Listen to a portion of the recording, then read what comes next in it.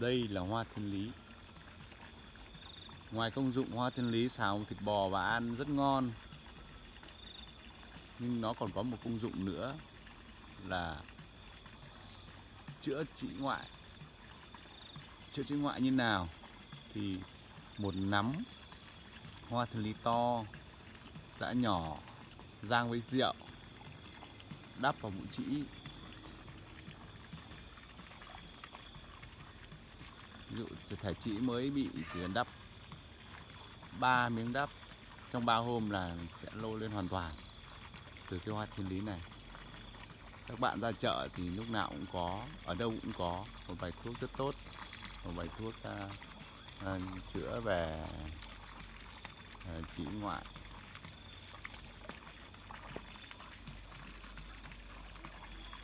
Một uh, cây thuốc rất dễ tìm.